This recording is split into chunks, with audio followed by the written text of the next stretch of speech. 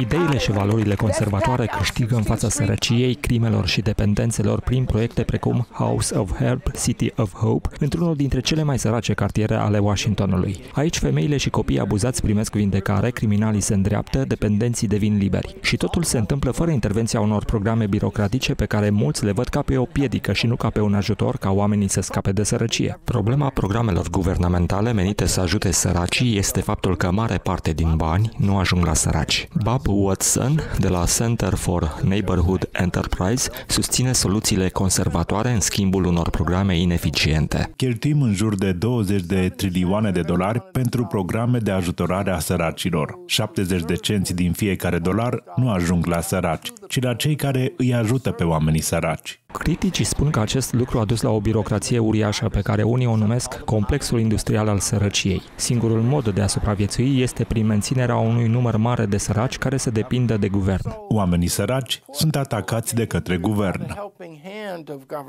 Shirley Holloway de la House of Help City of Hope a petrecut zeci de ani ajutându-i pe cei mai neajutorați dintre oameni ca să aibă succes și să devină productivi. Oamenii au nevoie de dragoste și de relații.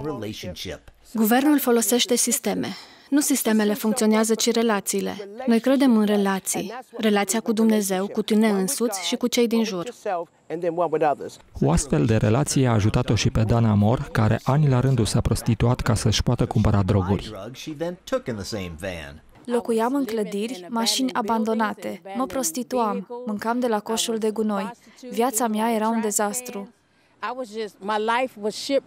Programele guvernamentale nu au ajutat-o să se schimbe. Nu primeam ceea ce aveam nevoie pentru a nu mă mai droga. Lucrarea lui Holloway a ajutat-o să scape de dependențe. Pe lângă ajutor, am primit și iubire.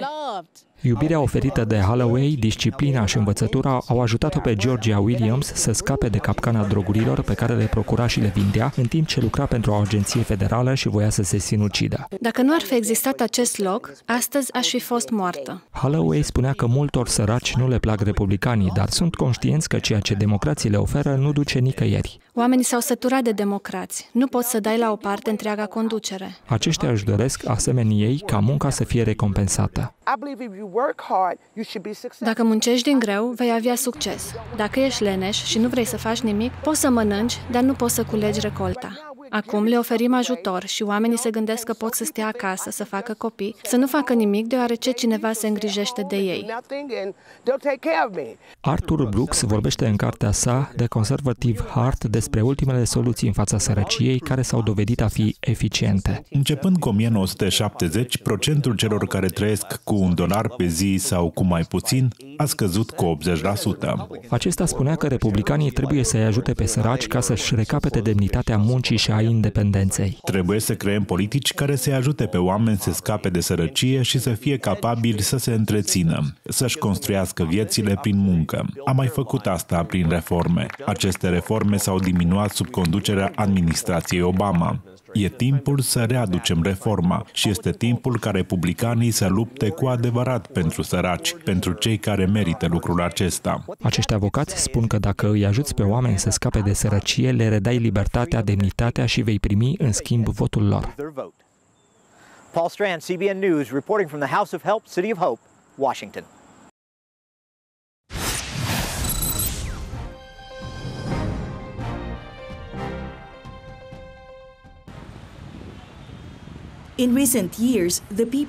În ultimii ani, locuitorii din Myanmar au avut parte de o libertate remarcabilă și de progres. În ciuda schimbărilor economice și politice, multe comunități, precum cea din satul Niang Takar, încă duc lipsă de apă potabilă. În perioada acestui sezon ploios, în multe zone inundate din Myanmar, oamenii speră să se oprească ploile.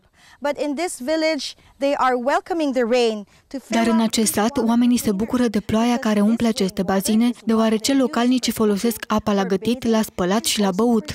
În lunile de vară, oamenii se aprovizionează cu apă din heleșteie. Din cauza lipsei de apă curată, oamenii se îmbolnăvesc de diaree și de boli de piele. De mai multe patru ani, pastorul Nini Tue se roagă în fiecare seară ca Dumnezeu să trimită apă curată.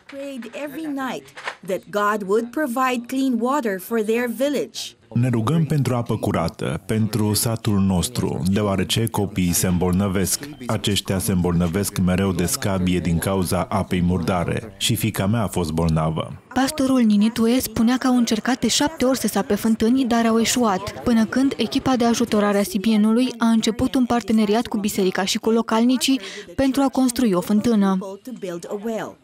Au venit diferite organizații, dar nu au reușit să facă nimic, deoarece nu au săpat suficient de adânc. Comunitatea este implicată în proiectele noastre. De asemenea, săpăm fântâni împreună cu biserica pentru ca tot mai mulți oameni să poată să vină aici, așa cum spune și Isus în Biblie. Dacă însetează cineva să vină la mine și nu îi va mai fi sete niciodată, când oamenii vin să ia apă de aici, sunt bineveniți și la biserică. Cred că echipa Sibian este trimisă de Dumnezeu. Datorită apei, la biserica noastră vin și oameni din alte sate. Aceștia, pe lângă apă de băut, primesc și apa vie, în timp ce ajung să-L cunoască pe Isus. Suntem fericiți că nu mai suntem nevoiți să cumpărăm apă potabilă. Copiii pot să facă baie cu apă curată. Fica mea se va vindeca în curând de scabie. Mulțumesc echipei Sibian. Dumnezeu să vă binecuvinteze și să lucreze în continuare prin voi. Mulțumim, CBN!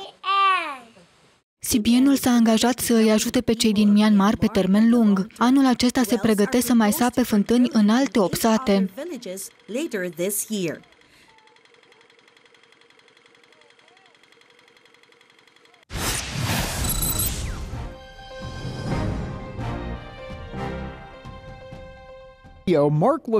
La radio, Mark Levin spune lucrurilor pe nume. Luptăm pentru societate și pentru Constituție. Ei pentru ce luptă? Ne-au luat totul. Ca autor este autentic și când scrie. În ultima carte, Plunder and Deceit, avertizează foarte puternic America cu privire la dezvoltarea unui puternic guvern federal.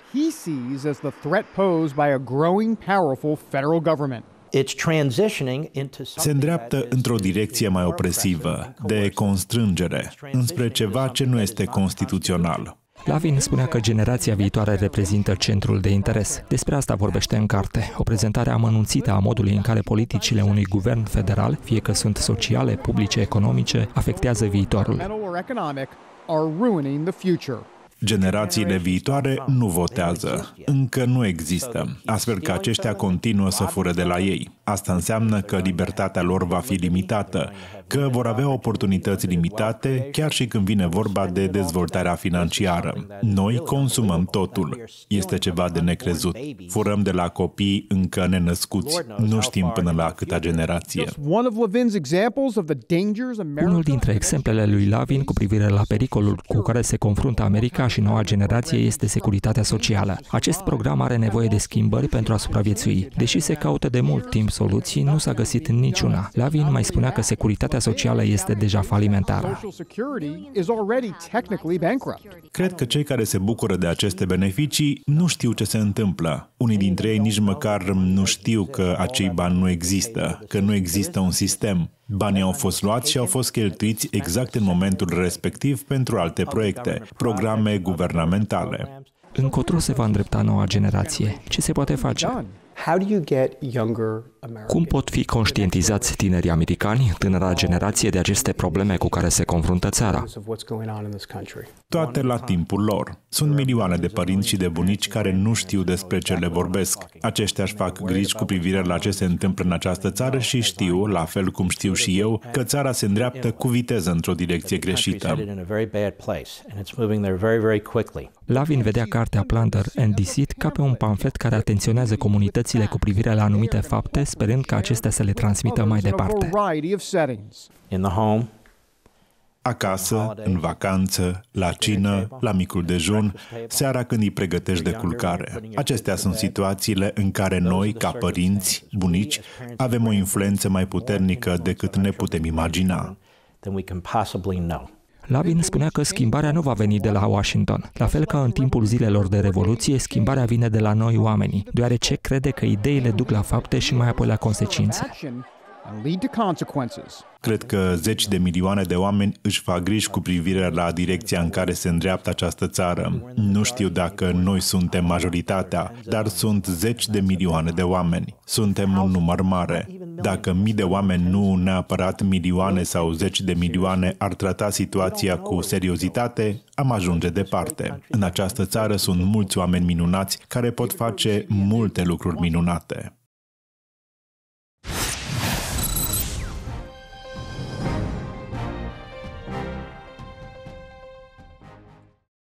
California California este cunoscută pentru plajele sale, pentru filmele sale și pentru celebritățile de la Hollywood. Acest bărbat se roagă pentru California ca să experimenteze o mare trezire. Brian Barcelona vorbește la întâlnirile clubului biblic și elevii sunt atenți, chiar și membrii bandelor. Nu o să uit niciodată. Când am terminat de vorbit, s-a făcut liniște. Acest tip se ridică în picioare, se uită la mine și mă întreabă ce trebuie să fac ca să fiu mântuit? Mi-amintesc cum directorul m-a chemat în biroul lui și mi-a spus nu știu ce le spui la aceste întâlniri, nu știu ce faci acolo, dar continuă să faci ceea ce faci, deoarece membrii bandelor apelează la noi și ne roagă să-i ajutăm, deoarece vor să renunțe la acest stil de viață. Barcelona conduce One Voice Student Mission, o lucrare pe care a început-o la liceul său din California. Lucrarea noastră îi abordează pe elevi cu privire la visurile pe care le au. Dacă banii sau timpul nu ar fi o problemă, ce ai vrea să facă Dumnezeu în școala ta?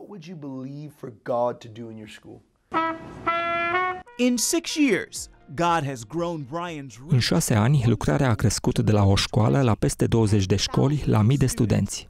A fost minunat. Nu venea să cred cât de autentic este. Impactul cel mai mare l-a avut asupra atitudinii mele aveam o atitudine de respingere. I-am cerut să se roage pentru mine. Am plâns foarte mult. Știam că fac multe lucruri rele. Sute de elevi de la liceul Roosevelt frecventează aceste întâlniri, una dintre singurele școli care dispune de un centru pentru planificare familială. Pizza oferită gratuit aduce noi participanți. Haideți, avem pizza, o să fie frumos. Bine, vin. Mesajul pe care Brian îl transmite îi determină să revină. M-au încurajat să-L caut mai mult pe Dumnezeu. Am învățat multe. Am primit înțelepciune prin învățăturile lor.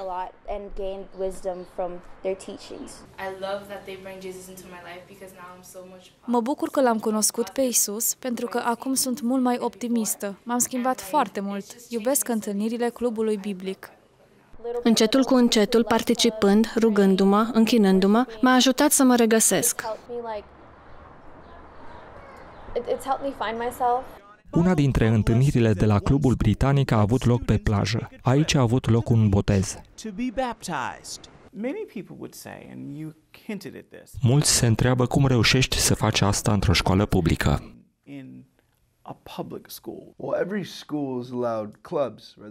Fiecare școală organizează cluburi, fie că e vorba de un club de șah, club islamic, club de matematică. Sunt permise și cluburile biblice. Ideea de bază este că trebuie să fie implicați elevii.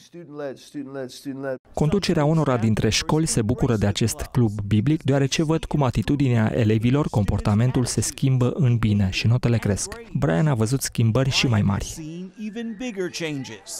Am găsit o scrisoare anonimă în sala de clasă unde ne întâlneam. Îmi era adresată mie, chiar dacă nu știa cum mă cheamă. Era o scrisoare de mulțumire. Autorul scrisorii spunea că își propusese cu o seară înainte să se sinucidă. Dar după ce a participat la una dintre întâlniri, a găsit speranță și astăzi este în viață. Scrisoarea și-a atins scopul și Brian a fost mântuit tot prin intermediul unei întâlniri la care a participat când avea 16 ani. Erai creștin în liceu? Doar din ultimul an. Ce s-a întâmplat atunci? Nu credeam în Dumnezeu. Eram ateu. Am văzut atât de multe ipocrizie în biserică. Familia mea obișnuia să meargă la biserică, dar a renunțat. Eram convins că Dumnezeu nu există. M-am mutat cu mama și m-am întâlnit cu Albert, un vechi prieten. Albert mă invita în fiecare weekend la întâlnirea cu tinerii. Mi-a spus că dacă voi participa la o întâlnire, o să-mi cumpere un suc de la Jamba. Mă încânta ideea să bea un suc pe gratis. L-am întrebat direct de la ce oră vine să mă ia. Mă aflam în biserică și mă rugam, Isuse, nu știu dacă ești adevărat. Am auzit că ai murit pe cruce. Dacă ești adevărat, vreau să te atingi de mine.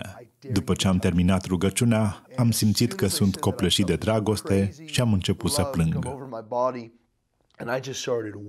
Un ateu care devine un credincios. Din acea zi, Dumnezeu l-a folosit pe Brian ca să le vorbească tinerilor despre el. Brian spunea că Dumnezeu îl folosește nu pentru că ar avea vreun merit, ci pentru că este disponibil.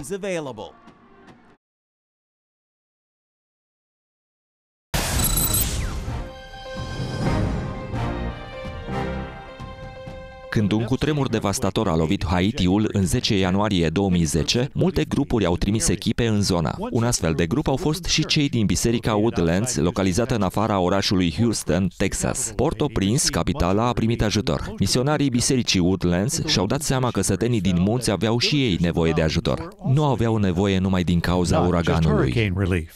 We were there and saw that there was coffee actually lying on the ground, coffee beans. Am văzut cafeaua așezată pe jos. Atunci am întrebat ce se întâmplă. Ne-au spus că nimeni nu le cumpără cafeaua. Problema era depărtarea la care se afla satul.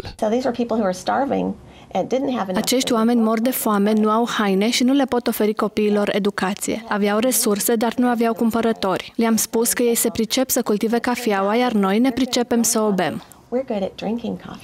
Cafeaua verde este transportată în Miami și mai apoi în Houston. Um, Voluntarii prăjesc și împachetează cafeaua. Cei din biserica noastră cumpără cafeaua și o beau. Cu o prezență la biserică de peste 18.000 de persoane în fiecare săptămână, cafeaua lor poartă acum numele de WC Trading Company și au o piață integrată. Le spunem membrilor bisericii că este simplu. Oricum ar cumpăra cafea. Atunci, de ce nu ar face ceva prin care să ajute? Biserica estimează că afacerea cu cafeaua ajută aproape 8.000 de persoane din Haiti. Practic le oferim un preț bun. E de trei ori mai mult decât le-ar putea oferi oricare alt cumpărător. Când o vindem aici, cu profitul pe care îl obținem, construim clinici, oferim hrană, învățătură. La o distanță de aproape 2400 de kilometri în partea de nord-est a capitalei Americii, Biserica National Community ajută în Columbia, la fel cum și Biserica Woodlands ajută în Haiti, dar cu o mică diferență. Cafeaua lor crește într-o zonă de conflict cunoscută pentru răpiri, detonare de mașini capcană și asasinări. Membrii bisericii Santiago Moncada și Steve Taylor sunt implicați într-o lucrare de misiune pentru copii. Pastorul pe care l-am invitat să ne vorbească ne-a spus mai târziu mărturia acestor fermieri care locuiesc într-o zonă muntoasă controlată de rebeli. A explicat cum, după ce s-au întors la credință, au renunțat la cultivarea cocainei și în locul ei au plantat cafea. Când Moncada și Steve Taylor au ajuns, cafeaua era pregătită să fie recoltată. Aceștia au sugerat un parteneriat. Am început cu puțină cafea pe care o aduceam și o împărțeam cu membrii congregației. Acest lucru s-a extins la mii de kilograme de cafea pe care acum o importăm. Cafeaua celor de la Redeeming Grounds nu se vinde numai în Washington DC, ci și pe internet, pe pagina Redeeming Grounds Coffee. Răspunsul celor din America în ce privește cafeaua a fost grozav. Lucrurile se schimbă. Am început cu câțiva fermieri. Deja au fost eradicate peste 22 de hectare pe care se cultiva cocaină. Prin urmare, au fost scoase de pe piață în jur de 1700 de kilograme, care valorează în jur de 80 de milioane de dolari. Fermierii colombieni decid cum este cheltuit profitul. Anul acesta vor să cumpere cadouri pentru rebeli în perioada Crăciunului. Vor să încurajeze să meargă acasă și să fie împreună cu familia, cu copiii. În trecut, banii au fost folosiți ca să construiască sisteme de irigare și au finanțat programe educaționale. Cafeaua Redeeming Grounds se vinde la cafeneaua Ebon Easers, la cafeneaua NCC și în alte cafenele din țară. Moncada spunea că noilor clienți li se vorbește despre puterea dragostei lui Hristos. Uh, they are always uh, curious to understand why it is that these farmers are planting coffee. Aceștia sunt curajoși să afle de ce fermierii au ales să planteze cafea în loc de cocaină. Cultivarea cocainei aduce un profit mult mai mare. Atunci avem ocazia să le spunem ce se află în spate, să le spunem mărturiile acestor fermieri. Cum întoarcerea lor la credință i-a convins să facă această schimbare.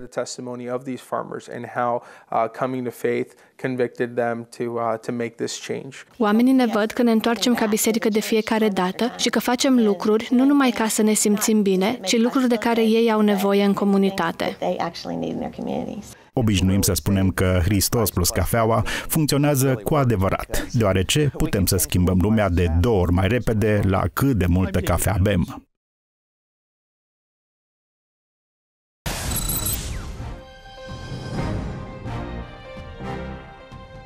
Bărbați și femei s-au adunat la biserica New Life Providence din Virginia. Aceștia au trei lucruri în comun. Sunt creștini, au peste 30 de ani și sunt necăsătoriți. Celibatul este o problemă în cultura noastră. Biserica este locul potrivit unde putem să discutăm despre asta. Trebuie să vorbim despre asta. Persoanele necăsătorite au și ele luptele lor. Reporter coordonator pentru știrile CBN și autoare Wendy Griffith a vorbit recent în fața acestui grup. A vorbit despre viața ei ca persoană necăsătorită și despre experiența care a ajutat-o să descopere dragostea pe care Dumnezeu o poartă. În urma acelei despărțiri, Dumnezeu mi-a arătat că l-am iubit pe acel bărbat, dar nu m-am iubit pe mine însămi. Când când îți cunoști adevărata valoare, nu permiți ca cineva să se comporte cu tine în mod neadecvat. Lecția învățată a determinat-o să scrie cartea You are a prize to be won. Dumnezeu a folosit această carte ca să schimbe viața lui Diane Urge. Cartea părea să prezinte experiența prin care eu am trecut. M-a ajutat să am mai multă încredere în mine of confidence in standing up for myself. Am rămas uimită cum Dumnezeu poate să folosească cel mai greu an din viață, cea mai mare durere și să o transforme într-o binecuvântare pentru ceilalți. Dumnezeu a procedat în acest fel și în cazul Melissei Down Simpkins. Este o antreprenoare de succes care locuiește în Washington DC. După cum puteți vedea, aceasta nu este căsătorită. Melissa spune despre călătoria ei spre viața de cuplu că este o experiență din care speră ca și ceilalți să învețe. Am început să mă întâlnesc întâlnesc cu băieți pe la vârsta de 20 de ani. M-am îndrăgostit de un băiat cu care credeam că o să-mi petrec restul vieții. Când aveam vârsta de 25 de ani, acesta a murit. Juca basket și a căzut. Dintr-o dată m-am confruntat cu întrebarea, o să mă mai îndrăgostesc vreodată? Și dacă o să se întâmple, oare o să mai vreau să trec prin asta? Um, Aceasta spunea că după ce Dumnezeu i-a vindecat inima, cariera ei în domeniul strategiilor de brand s-a dezvoltat. A colaborat cu clienți renumiți, cum ar fi jucătorul NBC Carmelo Anthony, cântăreața Mary J. Blige și lista poate continua. Viața ei sentimentală însă este o altă poveste. Trecuseră 10 ani și eu eram tot singură. Aveam o carieră minunată, dar nu eram căsătorită. Atunci Dumnezeu i-a spus un lucru. Mi-a spus, asta ai devenit. Permitem să te ajut să devii cine ești cu adevărat. Simkins spunea că Dumnezeu vede imaginea de ansamblu și potențialul tău. Trebuie doar să aștepți ca El să lucreze. I'm at a party, I'm out socializing. Eram la o petrecere, socializam cu diversi oameni. Un tip se oprește și îmi spune că ar trebui să zâmbesc mai des. Chiar îmi cumpărasem un tricou pe care scria Zâmbește, niciodată nu știi cine se va îndrăgosti de zâmbetul tău. Asta mă amintea că trebuie să zâmbesc. Atunci nu zâmbeam, astfel că am zâmbit și am mulțumit. Un domn care trecea prin spatele celui care îmi spusese să zâmbesc s-a uitat la mine și mi-a spus Nu mai vorbi cu el, vino să vorbești cu mine. Stop talking to him, come talk to me. Aceasta nu știa pe atunci că acel bărbat o să-i devină soț și că experiența sa ca femeie necăsătorită o va determina să creeze organizația Femei în centrul atenției. Le ajută pe femei să aibă succes fără să-și piardă identitatea. Melissa crede că finalul fericit de care ea a avut parte îl poate avea orice persoană care își dorește să se căsătorească. Sfatul meu este să-ți pui credința în practică și aici mă refer la a te aștepta ca Dumnezeu să facă mai mult. I-am spus lui Dumnezeu că aceasta este dorința inimii mele pe care El a pus-o acolo. I-am spus că nu-mi pasă dacă statisticile nu sunt de partea mea, ca femeie afroamericancă care locuiește în Atlanta. I-am spus că am nevoie doar de El. I-am spus să facă tot ce este nevoie ca să-L întâlnesc. Asemenea Melisei, Wendy își pune credința în practică. Aceasta a dedicat cartea pe care a scris-o viitorului ei soț. Aceasta le spune celor necăsătoriți să nu-și piardă speranța. Dumnezeu spune, am altceva mai bun pentru tine. Le încurajez și pe alte femei să nu se mulțumească cu mai puțin.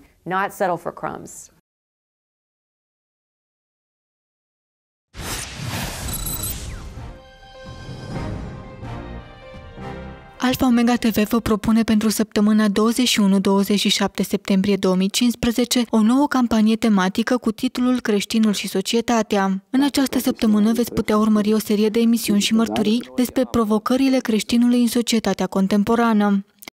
Eu m-am dus înainte pentru că El m-a ajutat cu siguranță și simt mâna a lui Dumnezeu binecuvântată. Vor fi abordate subiecte de actualitate precum administrarea înțeleaptă a finanțelor, mita și problema imigrației. Doi din trei români au datorii și mai mult de 50% din aceștia au datorii de peste 5.000 de lei. Acest lucru ne arată că, într-adevăr, românii au multe datorii și este nevoie de o învățătură sănătoasă despre datorii, despre gestionarea datoriilor și despre cum putem să ieșim din datorii pentru a putea trăi o viață liber de datorii. Pur și simplu nu am dat niciun ban la doctor, soția pur și simplu s-a dus la spital cu gentuța, s-a, a fost uh, tratată așa cum trebuie și am învățat și pe cei din jurul nostru. Nu faceți lucrul acesta. Mergeți, încredeți-vă în Domnul, este un drept al nostru, Domnul a promis în cuvânt că nu ne va binecuvânta, dar eu cred că Dumnezeu va binecuvânta încrederea noastră în El. În urmă cu câțiva ani am prevăzut că după ce se va des- de vor deschide granițele, mulți vor pleca la muncă și de aceea prin mesajele noastre am, am pregătit pe membrii bisericii pentru ceea ce va urma. Poveștile impresionante ale unor români care implică credința lor în viața de zi cu zi vor fi prezentate atât pe canalul Alfa Omega TV, cât și pe site-ul www.alfaomega.tv sau pe pagina noastră de Facebook. Multe dintre aceste mărturii se regăsesc și în numărul actual a revistei Alfa Omega TV Magazine. Alfa Omega TV vă invită să urmăriți programele din săptămâna 21-27 septembrie 2015 pentru a fi încurajați și a învăța despre cum să îl reprezentați mai bine pe Dumnezeu acolo unde El v-a așezat.